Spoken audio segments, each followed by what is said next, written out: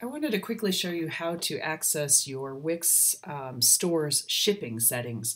Um, currently, we're looking at the shipping panel um, in the dashboard of the Wix stores. To get there, let's close out of this and I'll show you how to get into that. Um, this is our store page. If I click on this and click, if I double click on it even, um, either way, or you can click on settings, then click down here on manage, then click on manage store. This will open up your Wix stores dashboard, and this is where all your things like um, your shipping and taxes are set up, as well as your store orders. You can also edit products here. Um, settings is where we want to go to get into the shipping and taxes for the store. So now we can click here on store shipping, and now we're looking at um, the one I have set up currently for you. We have it set up only to ship to United States. You can always add international and set that up separately if you'd like down the road. Click here on edit and this will bring us into um, all the options for the shipping. Uh, again, we have rate by weight um, selected, but there are other options as well.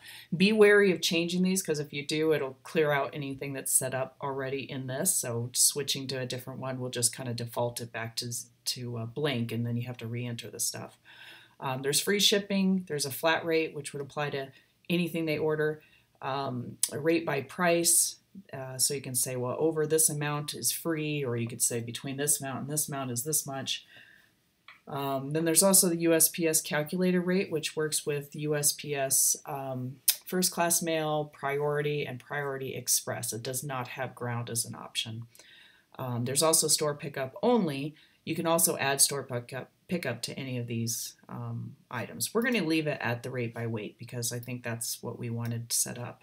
Um, so I've entered in your USPS ground shipping name here. Um, I put in the estimated delivery time.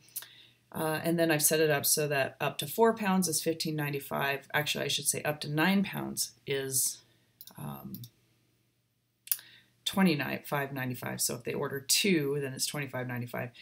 I've also added an additional range that if they order over two of them, there's going to be a rate applied. We could put 75, 100 here, and hopefully prompt them um, because you do have that messaging to contact you for larger orders. Um, but this would be one way to kind of maybe prevent people from ordering them. You can put in any number here, or you can just keep having the range go up here as well. So, um, you know, you could do nine pounds to you know, so that three is this much, four is this much, five is this much, and go as long as you'd like. Um, and then hopefully they might reach out to you if they're ordering large quantities. Um, you can also have a free option. So if they order, you know, 10 of them, they get free delivery. Um, and you can also allow for the store pickup down here. And there's also a handling fee if you wanted to add something like that. Um, Allow store pickup allows me to put in all this information, where it would be picked up, and then also when it will be picked up. You can put that information here. Um, so feel free to come in here and edit this. When you're done editing, make sure to hit save here or save up here. That'll apply that to the store. So again, this is located under store shipping in the dashboard under settings of, of your store. Um, so now I'm coming back in here. I can actually go in here now and play around with this. This is the shopping cart page where you do have all your disclaimers here, which um, prompt people to reach out to you for other types of orders. So I have 11 in here, um, and it's uh, only charging me $50 because that was the limit I had. But uh, we can't limit how many they have in Wix, unfortunately. Um, but you could price it accordingly so that somebody might feel the need to prompt to reach out if they're ordering three or more items and they don't want to pay the high price of shipping. So um, anyway, so this is now charging. So if I have one item in my cart, it's $15.95. If I have two, it's $25.95. If I have anything more than that, it charges $50, um, which you can go in there and set that up um, differently.